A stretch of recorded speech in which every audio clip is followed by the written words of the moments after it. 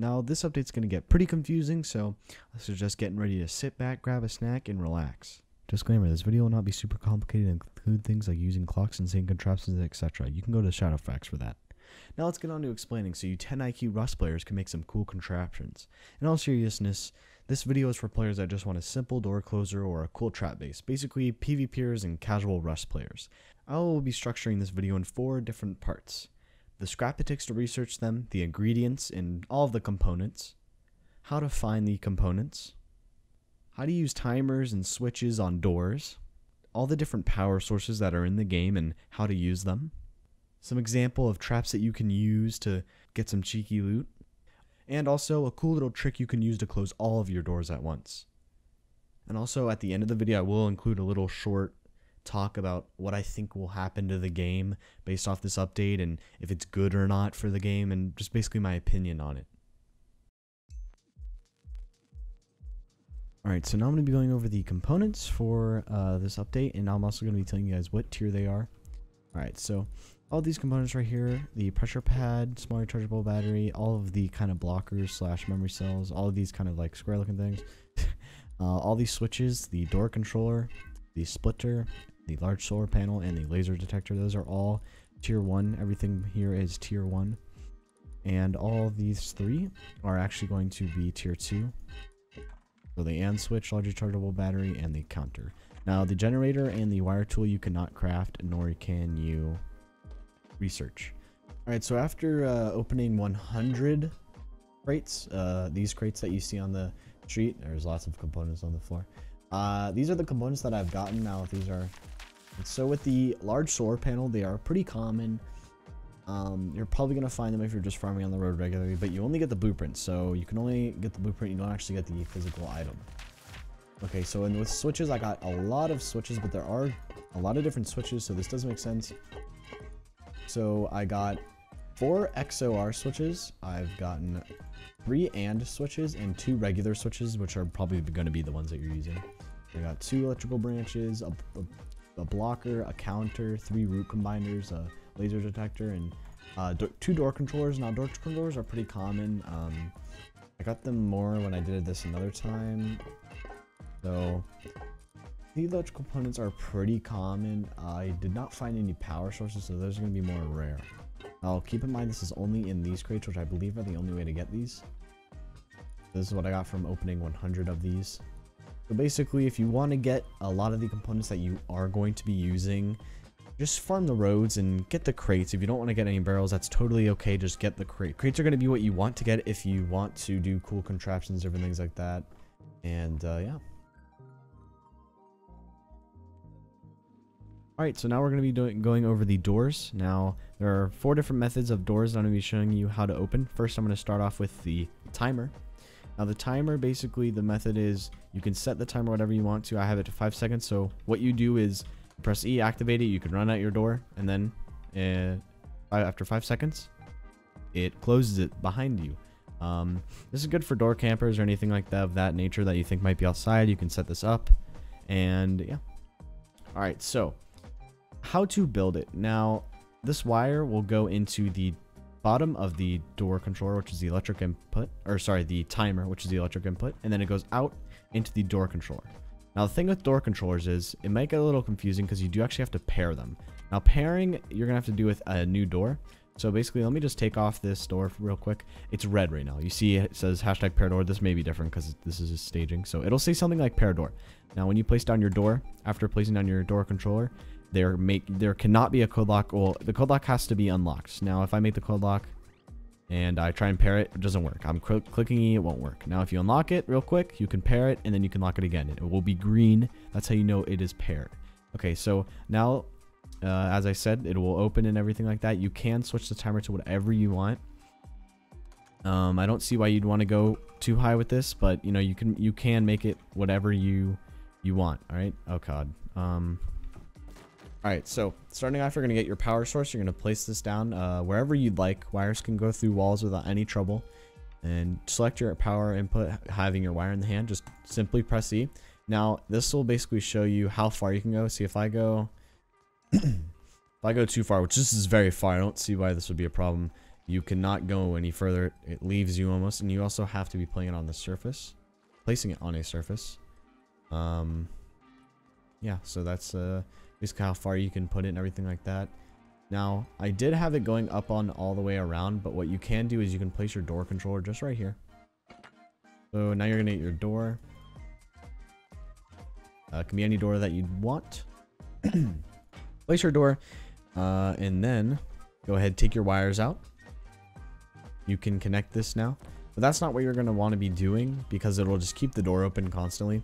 Uh, now, to get rid of your wires, you don't actually have to hit it. You you really can't hit it um, with really anything. It just stays there like it's can't you can't hit it. So what you're gonna have to do is hold your wire and hold right click, and then it will basically get rid of it.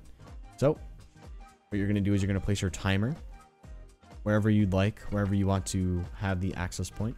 You're gonna place your cord in there. Now I had it all fancy like set up, and I had it nice and neat. You don't actually have to do this, but if you don't want to go crazy over the wires, you can walk through them. Uh, it doesn't really matter. You can walk through them, so. Alright, now let's clear this. Let's hold our right click and clear this. Oh, you have to do it from the... You can't be in it. Sorry, I was having a little bit of trouble there. So now you're going to take your power, and you can't actually put it... There is a input right here, but you can't actually put the power into the output. It just won't let you, so you won't make that mistake. You put it into the electrical input, now that's in there. You can see the light is red and it gives you the option to activate it, but nothing will happen.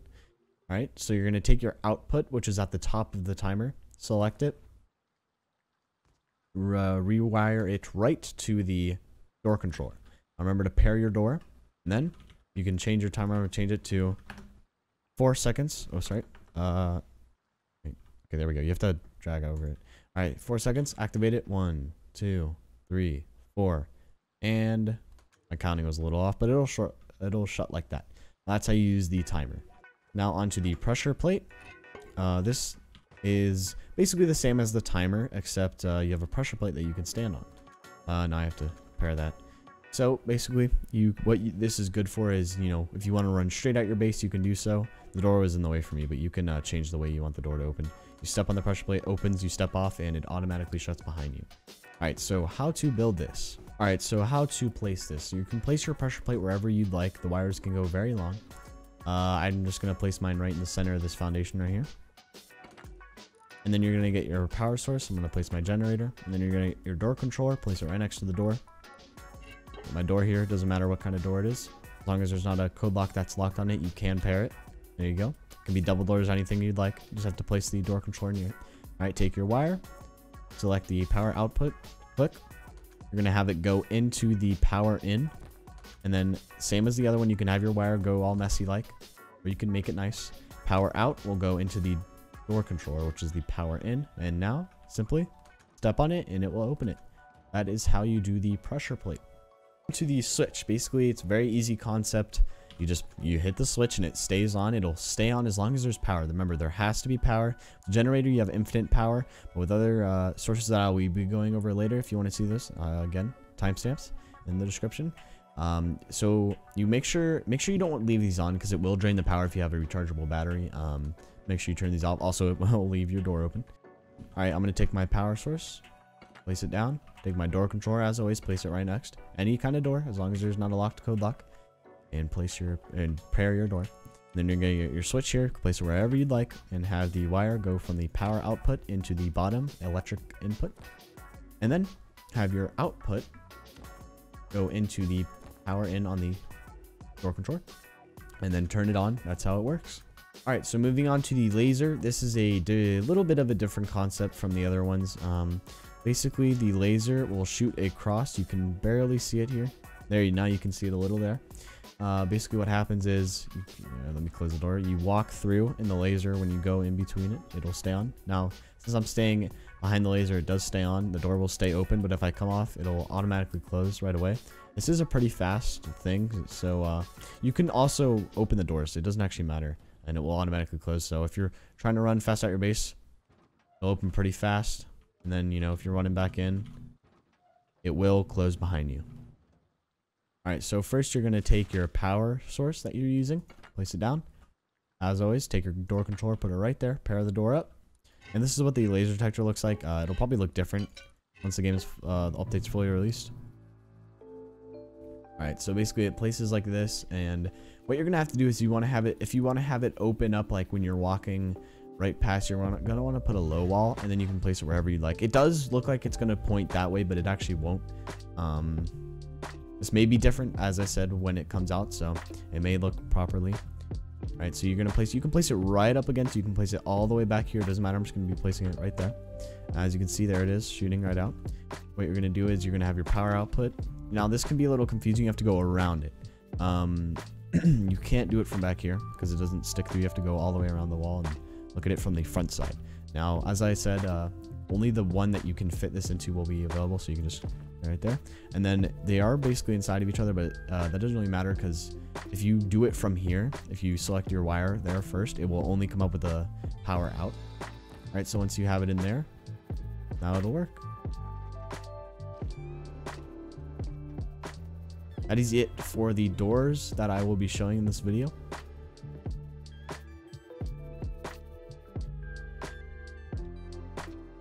Alright, so now I'm going to be going over the rechargeable batteries. Now, there are a lot of different rechargeable batteries, or uh, just rechargeable sources, and there's also a bunch of sources that are forever. So, um, the wire tool you can actually craft now, so it's default BP. So keep that in mind, you only need to make one.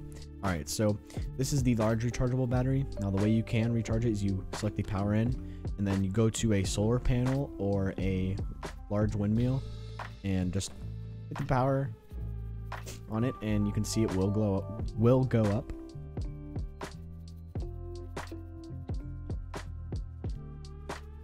As you can see it's going up. All right now we're going to clear that.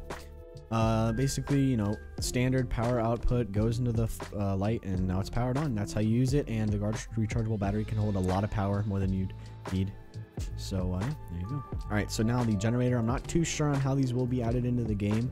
Uh, if you do have a question on how certain make the electrical circuit that you're making and you really need the generator uh, and you don't know, ask me in the description. Uh, most likely after this video goes up, I will know. It hasn't really been said how to get it yet, but I don't believe you can get the generator.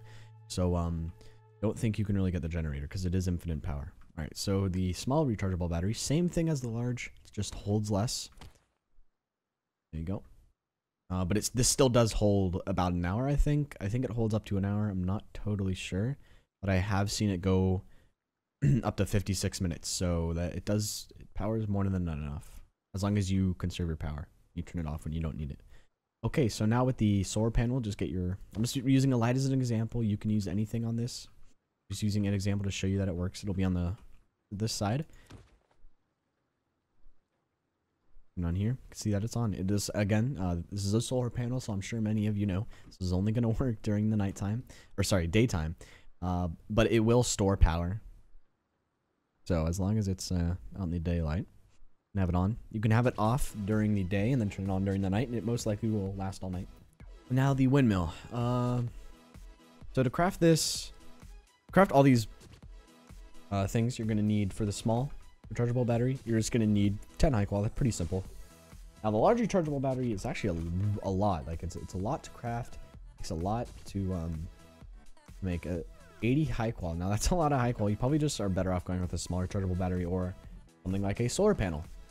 And solar panels are super easy to get. So, only 50 high qual and you can get yourself some really good uh, power. Now, for the windmill, though, the windmill has been in the game for, I think, um, more than a year. And it's finally uh, a thing now. so it's level 2, 1.5k wood, 30 high qual, 3 gears, and 10 sheet. So all these, all this stuff really isn't that much. And then 10 sheet metal. That's a lot of sheet metal. So if you do want to end up getting this, you cannot recycle sheet metal. As you can see, you know, sheet metal is used on the blades, I guess. I don't know. Anyways, you do want to keep your sheet metal if you want to end up crafting this thing. It takes a lot of sheet metal. Alright, so basically to show how it works, I have used it. I already showed you guys with the portable battery. Just goes right in. And it works. This works 24-7. Works even in the night. Come on, game. There you go. See, it works in the nighttime. And you can pick them up with hammer really easily. It does take some health damage. Uh, same thing with the light and the all the batteries, actually.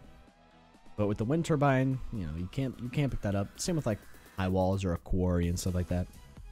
So that's all uh, for the rechargeable batteries. If you have any questions, just ask a comment and I will reply with an answer. So uh, yeah. That's it for rechargeable batteries.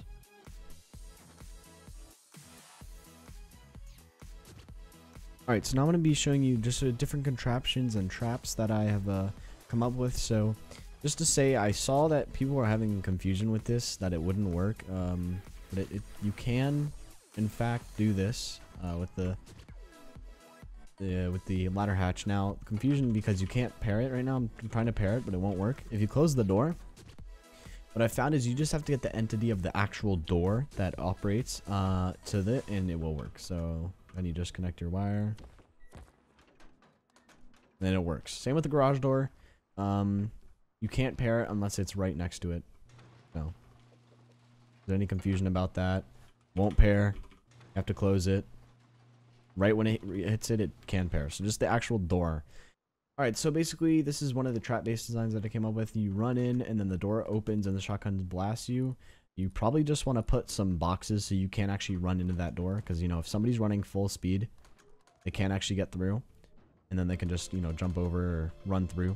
Again, you want to put some boxes or shelves uh, to block people from getting in. So basically, you step on it. You can't see this uh, actual plate. You can't do this with a bear rug, by the way.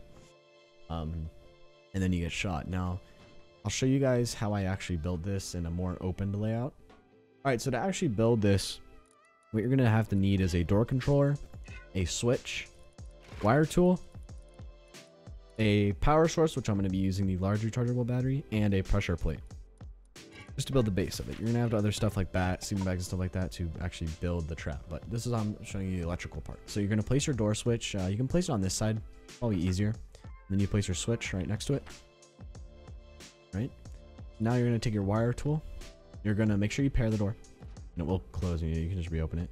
You're going to take your door controller and put it into the pressure pad. Now you want to do this neatly so you can hide it under the sleeping bags. You just don't want to have it stretch across because then people will know what's going on. Alright, so now you're going to take your power source and you're going to put it into the switch. And then you're going to have your switch go into, have it route pretty neatly, have it go into the pressure plate right there. Now, if you turn this on, you step on it, Make sure this is closed. If you step on it, it'll open. Now, the reason I have the switches here, because you can do this without a switch, but the reason you'd want to switch is so you can actually turn off the power. See your rechargeable batteries, they only hold a certain amount. So you want to install this. You have to go a little extra mile to install this, but it's really simple and it can really save you a lot of power because you can turn it on and off when you want, uh, which really helps. Uh, if you obviously have a windmill or anything like that, it won't matter.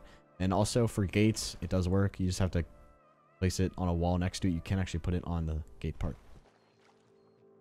Alright, so today I'm going to be showing you how to make it so you can close all of your loot room doors with the switch of one button. Alright, so uh, disclaimer, you can, if you don't want to waste power, just turn this off and you know, just turn them on. It's it's really easy. Um, and uh, basically, when you if you are getting raided or you want to close all your doors because you're getting off, you can just switch it on, which won't do anything, and then switch it off again, and then it will close all them. Because you don't want to be wasting power if you don't have a generator by keeping them on all day or all the time that you're on, which would waste a, a lot of power depending on your power source. All right, so this is what the wires look like. It's actually really um, simple. It doesn't really look that complicated. It may to you, but trust me, it really isn't that complicated. Alright, so to get into the build of it. Alright, so I'm only going to be doing this with three loot rooms. You can do it with as many as you want. I'm going to show you how to make it so you can do it with as many as you want. Um, you just have to add a couple of things. Now, we're just going to make our loot rooms here locked. Well, lock. you can have them unlocked, but you can't have them locked. Alright, so I'm to place it on the outside just because it's easier to do. And if you place it on the garage door, like you can, you can't really do that. It just says can't deploy on door. So you're to put it right there. That works perfectly. Make sure it's closed so you can actually uh, pair it. Because right now you can't pair it, but if you close it, it's right when that garage door gets near it, you can. So we're just going to do that. Pair it. Pair it. There you go. Alright, so now you're to take your power source, which I'm just going to spawn in a generator for this. You can do it with whatever you want. Just make sure that you um, do the trick that I showed you where you don't have to use any power because you don't want to eat up all your power. So let's just create two foundations for the power. All right, so what you're going to want to do is you're going to want to have the switch go into one of the splitters. You can't just cut it right across. I'd like to do it neatly so it doesn't look bad. All right, so you're going to take your first power output and bring it along to the first door. Take the second one. There are three on a splitter.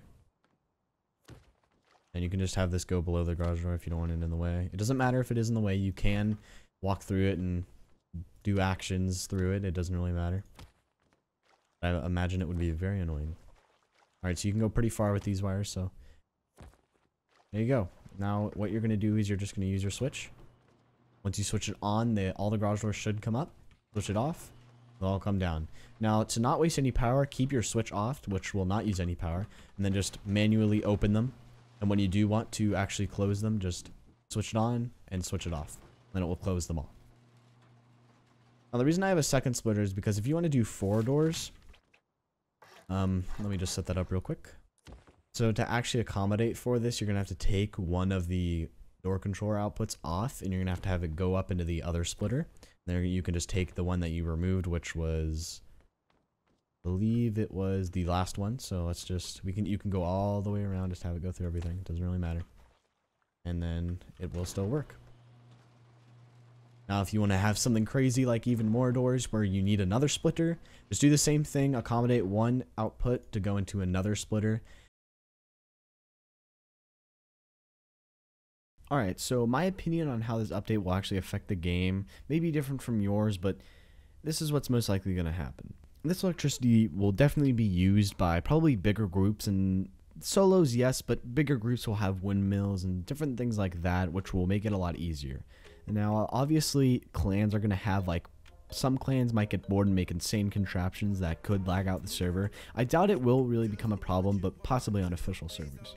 This will not ruin going deep at all. If the person's kind of smart, they will put the switch not in their airlock or their timer not in their airlock so you can't just open it. Uh, you can open and use switches without be having TC access. This is subject to change, I'm sure, but you can use switches if you don't have TC access and you don't need to authorize or anything. So going deep really isn't that dead. Uh, stop complaining. Now for raiding, you can't actually pair a door that isn't yours. You have to have the code lock unlocked uh, able to pair it. I've stressed this numerous times throughout the video. Uh, so originally I thought raiding was going to be really easy and you can open up all the doors as long as you had TC, but no, that's not the case anymore, which I'm glad they patched, and raiding will not be affected really at all unless they have switches inside the base that you can open all the doors with. That's the only bad thing with having a switch that can open all the doors. It can like make it so somebody can just raid your entire base, but something you can do before you get off is just take the wire off or take a switch off, pick it up so you can't do that. That could really, you know, that could really solve that entire problem easily. This update will most likely in the next months uh, have stuff added to them, but after a while, not many people use electricity.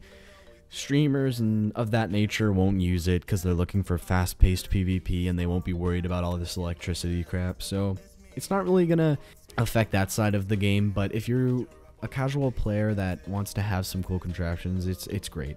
It's not really going to ruin much for anybody, and it's just a good addition overall. People can express themselves creatively uh, very well, and I think it's going to be really cool to see what people can do. And if you guys like this tutorial, please hit a thumbs up and tell me what you thought of it. If you didn't like it, always hit that dislike and tell me what to improve on for the next time. And also go check out my other videos and also go check out my other videos and cards on the screen right now. Thank you guys so much for watching this tutorial. And if you have any questions at all, just ask me in the comments. And also, guys, disclaimer, it's like stuff is subject to change. I'm sure things are going to change. So if you have any questions or something isn't working and it looks outdated, just ask. And I'll, I'll also make a update video if it gets to the point where like everyone's confused about stuff. I will make an update video. Thank you for watching and goodbye.